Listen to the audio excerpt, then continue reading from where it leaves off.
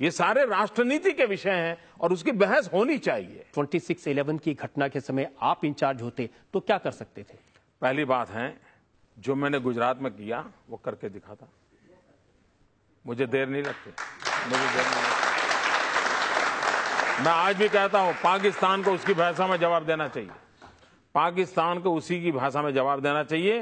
ये love letter लिखना बंद करना चाहिए। ये प्रणब मुखर्जी रोज एक चिट्ठी भेज रहे हैं और वो सवाल भेज रहे हैं ये जवाब देते फिरते हैं। गुना वो करे और जवाब भारत सरकार दे रही है। लेकिन इंटरनेशनल प्रेशर है उसका भी तो ख्याल रखना पड़ेगा सरकार को। इंटरनेशनल प्रेशर पैदा करने की ताकत आज हिंदुस्तान में सौ करोड़ का देश है। पूरी दुनिया पे प्रेशर हम पैदा कर सकते हैं जी। कोई हम पर कैसे प्रेशर पैदा करे? ये उल्टी गंगा क्यों चले? मैं हैरान हूँ जी। पाकिस्तान हमको मार के चला गया। पाकिस्तान ने हम पर हमला बोल दिया मुंबई में।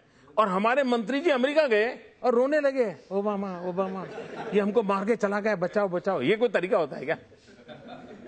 पड़ोसी मार के चला जाओ और अमेरिका जाते हो? अरे पाकिस्तान जाओ ना। क्या तरीका होता? पाकिस्तान जो भाषा में समझे समझाना चाहिए।